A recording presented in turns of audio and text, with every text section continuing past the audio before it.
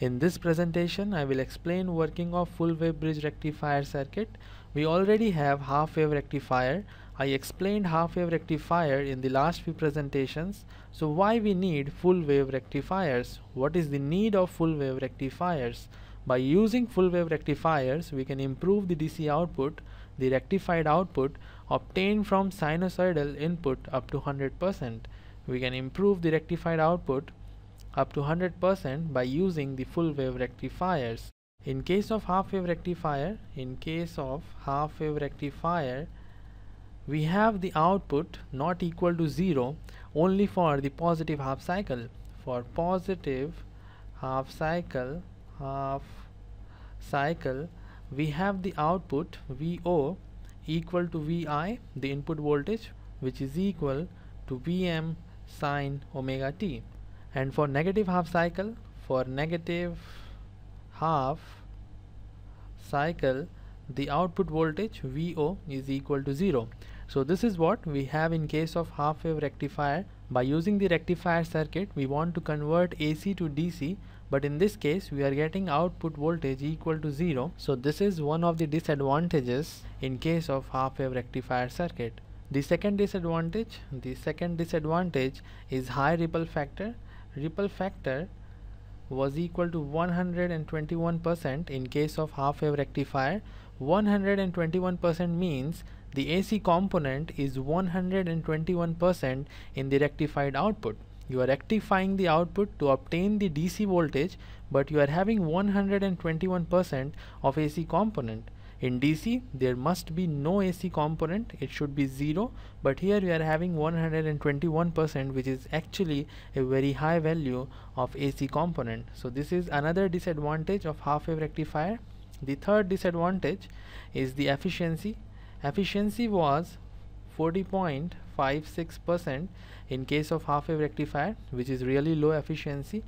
All these disadvantages made us use full wave rectifier there are two types of full wave rectifier we have to study in this course. The first one is full wave bridge rectifier. The second one is full wave center center tapped center tapped rectifier. In the next lecture I will explain working of full wave center tapped rectifier. In this lecture we will deal with full wave bridge rectifier. This is the circuit for full wave bridge rectifier you can see we have four diodes in this circuit. Let's say this is D1 this is D2 D3 and D4 the resistance here is resistance R which is the load resistance and we have to calculate the output voltage across this resistance. The output voltage is let's say VO the input voltage is given across this terminal and the input voltage the input voltage is Vi we have to calculate VO for positive half cycle and for negative half cycle. First case is for positive half cycle. First case is for positive half cycle. We are analyzing the circuit. For this half cycle Vi the input voltage the maximum or peak voltage is Vm and when we have the positive half cycle this will be the polarity plus minus. And you can see diode D2 will be forward biased diode D2 will be forward biased diode D4 will be reverse biased reverse biased because N side is connected to the positive terminal and P side is connected to the negative terminal. Diode D3 is forward biased and diode D1 is reverse biased. I'm considering the ideal diodes so we have to replace the forward biased diodes with short circuit and I will replace the reverse bias diodes with open circuit. This is what we do. In case of ideal model of the diode this diode is reverse biased so it will remain open circuit. D3 is forward biased so I will have I will have short circuit in place of D3 and D1 is reverse biased so it will remain open circuit. This is how the circuit will look the equivalent circuit and we have to find out VO so let's try to find out VO the output voltage. The direction of current will be like this. Because we have positive terminal here in place of diode D1 we have open circuit and in place of diode D2 we have short circuit. The current will choose the path with minimum resistance so it will choose this path instead of this path. Then it will flow through the resistance like this. And from diode D3 to the negative terminal. This will be the direction of the current. Let's say the current is I. And we can easily calculate VO by using the Kirchhoff's voltage law. We have plus Vi plus Vi minus VO minus VO equal to 0 so VO is simply equal to Vi and this is for this is for ideal model. This is when we have the ideal model for all the four diodes. If we consider constant voltage drop model then let's see what we have. This diode D2 will be replaced this diode D2 will be replaced by the barrier potential like this let's say the barrier potential is equal to VB. In the same way diode D3 will be replaced by the barrier potential VB.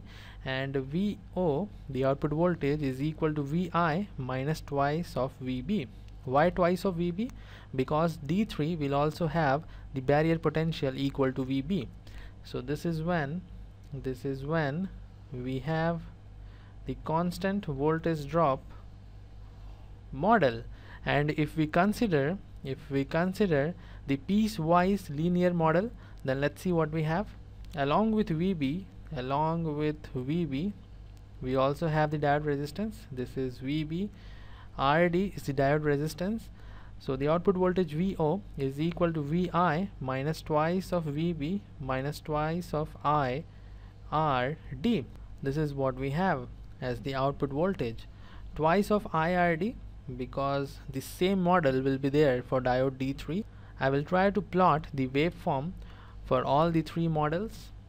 I will try to plot the output waveform for all the three models here. This is omega t this is VO I am plotting for the positive half cycle so 0 to pi. In case of ideal model VO is equal to VI so we'll simply have the input voltage as the output voltage the peak value of the voltage is equal to Vm. In case of constant voltage drop model VO is equal to Vi minus twice of VB. So the output will look something like this smaller than the input voltage Vi. And if we consider the piecewise linear model then we have the output voltage something like this. The peak voltage in case of constant voltage drop model is equal to Vm minus twice of Vb. The peak voltage in case of piecewise linear model is equal to Vm minus twice of Vb minus twice of I R D the diode resistance. I hope this is clear to you. Now we will analyze this circuit for the negative half cycle. For the negative half cycle we have already analyzed it for the positive half cycle. Now we will analyze it for the negative half cycle. From pi to 2 pi this is omega t and here we have Vi the input voltage. When we are talking about the negative half cycle the polarity will be like this minus plus Vi this is resistance R minus plus VO is the output voltage. Diode D1 will be forward biased. Diode D1 will be forward biased because N side is connected to the negative terminal and P side is connected to the positive terminal. In the same way, diode D4 will be forward biased, diode D2 will be reverse biased and diode D3 will be reverse biased. In the earlier case, in the earlier case, diode D2 and D3 was forward biased and diode D1 and D4 were reverse biased. In this scenario, the situation is changed we have D1 D4 forward biased D2 D3 reverse biased. Again I will do the same thing. I will replace them with their equivalent model. And now we are considering only the ideal model. I will not consider constant voltage drop model or piecewise linear model. This was only to explain you. So we will consider all the four diodes as ideal. I will quickly make the equivalent circuit this is what you have once you replace all the four diodes with their equivalent model. Now I will try to trace the path of current I. We have positive terminal here. So current current will flow like this. Out of this path and this path current will choose this path because this path is short circuited least resistance. Then it will go through the resistance the load resistance R. After this it will choose this path. And finally to the negative terminal. This is the path of current I. I will again try to find out the output voltage VO by using the Kirchhoff's voltage law. We will move in the direction of the current I. So we have plus of VI minus VO equal to 0 again VO is equal to VI in case of half wave rectifier we had output voltage equal to 0 for the negative half cycle but in this case the output voltage is equal to VI the last thing we have to do is to plot the output waveform and this is the most important thing in this lecture the output waveform. This axis is omega t this axis is VO and we are plotting the output waveform for one time period 0 to pi pi to 2 pi 0 to pi for the positive half cycle. If you see the direction of current it is like this. From right to left through the load resistance and the output voltage is equal to VI the input voltage. So we have we have the waveform like this for the positive half cycle. And if you see the negative half cycle you will find the direction of current the direction of current is again from right to left and VO is equal to VI so again we have the similar plot for the negative half cycle. Now you can see we have the better waveform. We have the better output waveform as compared to the half wave rectifier. In case of half wave rectifier this portion was equal to 0 but in this case we are getting the identical waveform as the positive half cycle so definitely this model for the rectifier is much better as compared to the half wave rectifier. And if you use the capacitor if you use the filter capacitor like this then this waveform will smoothen like this. This will be the output waveform. And this looks much more like the DC this is all for full wave bridge rectifier. In the next lecture I will explain working of full wave center tapped rectifier. So see you in the next one